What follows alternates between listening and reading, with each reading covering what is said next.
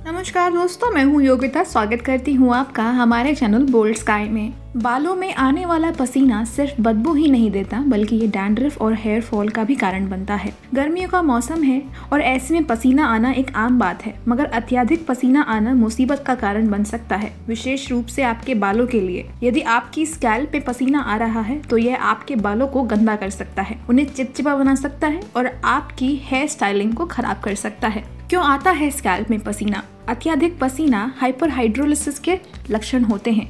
ये शरीर पर कहीं भी हो सकता है और स्कैल्प सबसे अधिक प्रभावित क्षेत्रों में से एक है। जब हाइपरहाइड्रोलिसिस का कोई स्पष्ट कारण नहीं होता तो इसे प्राथमिक हाइपरहाइड्रोलिसिस के रूप में जाना जाता है।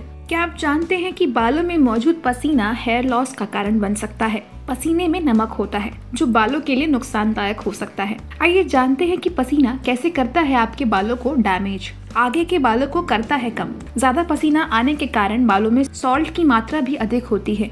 इससे स्कैल्प में ड्राइनेस और बाल झड़ने की समस्या हो सकती है।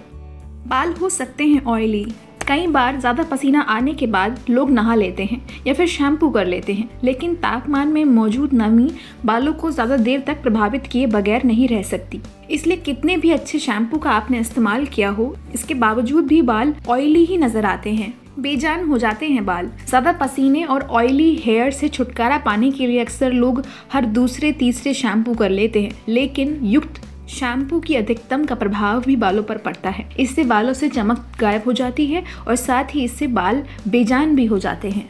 खुजली के हो सकते हैं शिकार। जब बाल में पसीना ज़्यादा हो जाता है तो इसके कारण धूल मिट्टी के बालों में चिपकने की संभावना भी बढ़ जाती है। ये गंदगी बालों में खुजली का कारण बन सकते हैं। इसके अलावा स्कैल्प में पोर्स मौजूद होते हैं। पसीने के कारण वो भी ब्लॉक हो जाते हैं। पर्याप्त ऑक्सीजन नहीं पहुँचने पर बालों में खुजली होती है। साथ ही बाल झड़ने की समस्या भी हो सकती है। तो दोस्तों, आज के इस वीडियो में इतना ही। उम्मीद करती हूँ आपको हमारा ये वीडियो पसंद ज़रूर आया होगा। हमें कमेंट करके ज़रूर बताएँ कि आपको हमारा ये वीडियो कैसा लगा।